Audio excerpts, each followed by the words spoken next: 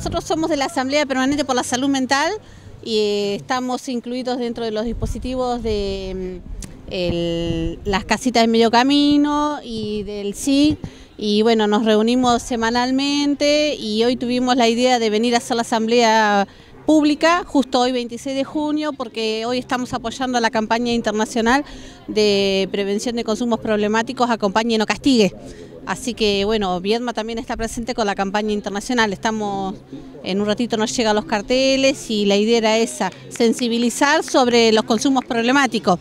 Y justamente hoy eh, el, lema de este año es eh, sensibilizar sobre todo a las mujeres que están en situación de consumos problemáticos y que son doblemente discriminadas en la sociedad y por las políticas públicas por estar en esa situación de consumo.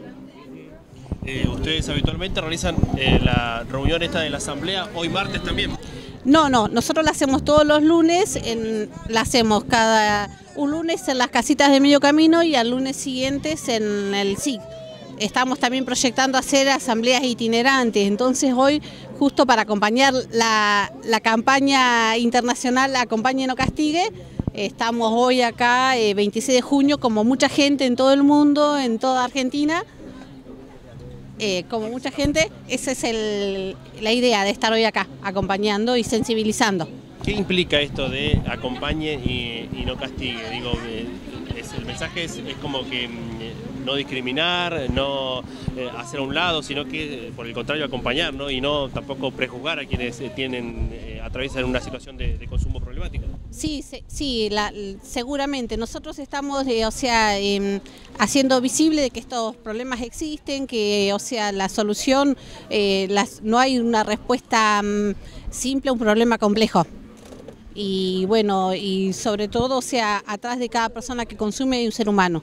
Entonces, eh, o sea, hay que respetar, hay que, hay que acompañar, o sea, acompañar será desde las políticas públicas, acompañar será desde el abrazo, acompañar será desde decir, bueno, si ves una persona en una situación de consumo, eh, no discriminarla, eh, o sea, es una persona que está atravesando por un problema que seguramente solo no puede y bueno, necesita ayuda.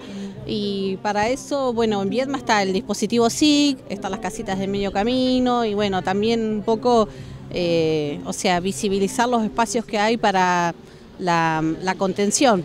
También nosotros desde la Asamblea eh, hacemos fuerte eje en que las políticas eh, públicas se basen sobre el enfoque de reducción de daño. Hay, o sea, hay distintas maneras de mirar eh, el tratamiento y los consumos desde las personas. Y nosotros hacemos desde este espacio eh, colectivo, diverso, heterogéneo, donde, o sea, eh, construimos este tipo de, o sea, de mirada. Aceptamos este tipo, el, el enfoque de reducción de daños.